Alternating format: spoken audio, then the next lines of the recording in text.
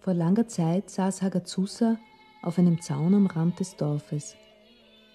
Sie saß da, baumelte mit den Beinen, schaute ins Dorf, schaute in den Wald. Immer wenn die Dorfbewohner sie sahen, jagten sie sie davon.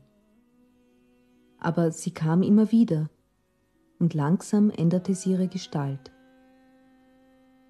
Sie wurde durchsichtiger, und als man sie kaum noch sehen konnte, gelangte sie unbemerkt auf die Dächer und in die Keller der Häuser. Nur ein Schatten von ihr war noch zu sehen, an der Schwelle zwischen Tag und Nacht.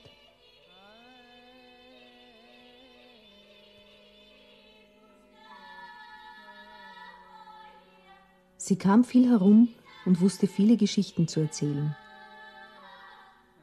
So erzählte sie einmal von den Menschen in einem kleinen Städtchen am Brut, die sehr stolz waren auf ihre eiserne Brücke, die von einem Ufer des Flusses zum anderen führte.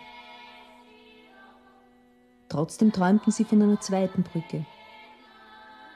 Es würde eine Brücke sein, die nicht aus Eisen wäre, auch nicht aus Stein oder aus Holz, nein aus Papier, aus Zigarettenpapier. Eine Brücke aus Zigarettenpapier.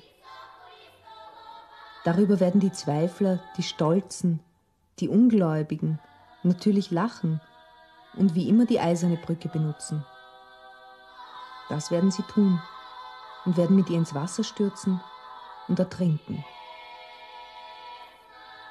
Die anderen aber werden nicht zögern und sich nicht fürchten.